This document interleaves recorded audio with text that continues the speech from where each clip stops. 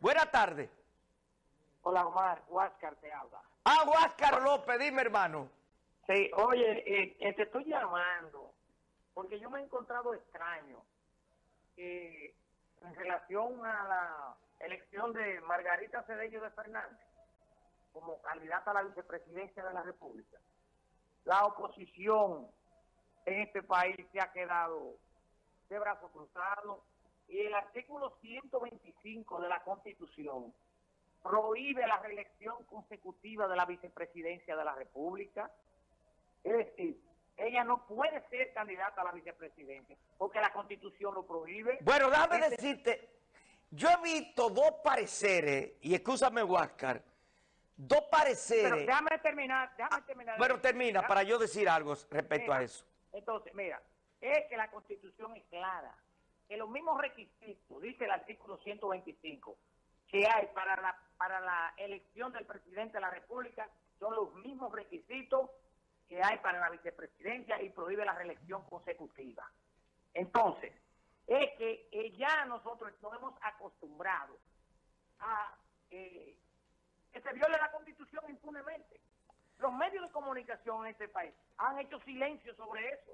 Es más, aquí hay, aquí hay medios que están alabando esa elección tan eh, genial y tan importante, esa dama tan distinguida y carismática y popular.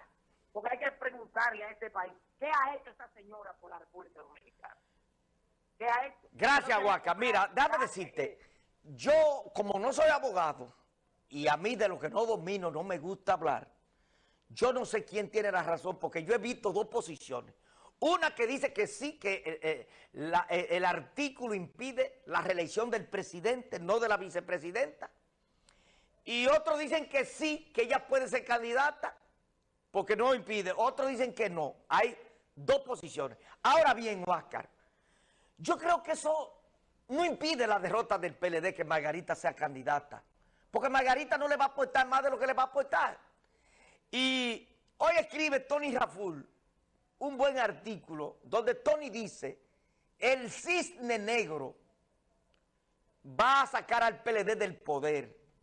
Y habla lo que yo siempre dije, que la división del PLD, como la división de todo partido, ha decretado la derrota de los partidos que se dividen.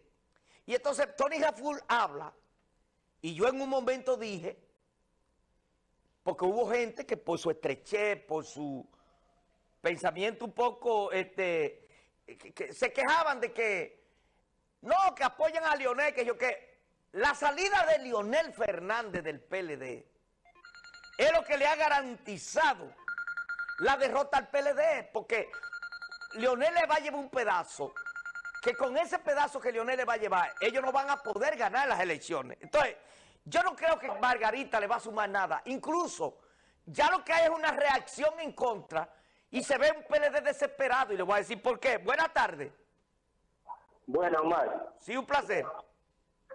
Pero yo no sé cuál es el problema, Omar, porque ¿qué hace que ella la cojan como vice? Porque ella es vice, ¿qué ha hecho? No lo quiere, tanto ella ahí, porque ella la vice ahora mismo y nadie la quiere. Exactamente, exactamente, ya, ya, ya tú hablaste, ella es vice y no se deja sentir. Y ella está, y déjame decirte, me dijo una persona anoche, que en las redes han acabado a Margarita. Porque además se ve un acto, como yo lo dije desde un principio, de lealtad al que la hizo gente. Y es la esposa de un hombre, ya ha traicionado al esposo por las ambiciones de medida. Margarita es una mujer ambiciosa. Margarita acaba de enterrar su carrera. Porque, ¿quién hizo esta mujer? Esta mujer no la conocía nadie, la hizo Leonel Fernández cuando se casa con ella, Margarita, eh, eh, eh, el, cargo más importante que había tenido en su vida, era su consultora jurídica. Leonel que la ha hecho gente y traiciona a Leonel. Entonces es una mujer que nadie va a confiar en ella. Porque si tú traicionas que te han hecho gente, a quien es tu esposo, imagínate tú que no le hará a otro. Buenas tardes. Buenas. Sí, un placer. oye, oye bien. mira, Margarita se puede repostular según el artículo 125. ¿Saben por qué? Porque en el 2015, el artículo 125 se hizo una enmienda ahí de que sí que ya se puede repostular. Pero ¿qué pasa? Que partiendo de la retroactividad de la ley, que es irretroactiva, no obra para el pasado, sino para el futuro, Margarita puede reelegirse por el sentido de que a partir del 2015 para acá, ella lo que ha disfrutado de un, de un solo mandato. No, porque ahí, ahí tú Ah, no tienes ahora- razón. Porque si fuera ahora cierto, bien, ahora si bien. fuera según hay con estar- perdón, Con, perdón, con perdón, pero oye bien, hay que estar claro que el PLD, con o sin Margarita, se va ahorita. Eso Eso es que estar claro. Eso es verdad, pero oye, déjame decirte, si se aplicara la tesis que tú dices para justificar que Margarita por eso puede aspirar, entonces Danilo pudiera aspirar también. Eh, eh, Porque lo mismo para Danilo que para Margarita, en el aspecto que tú dices, que ya era más, porque la, constitución se modificó en el 2015, entonces ya nada más tenía un periodo, un periodo, pero entonces Danilo puede alegar eso. No, Margarita, es lo que tú dices, ya tú diste en el clavo.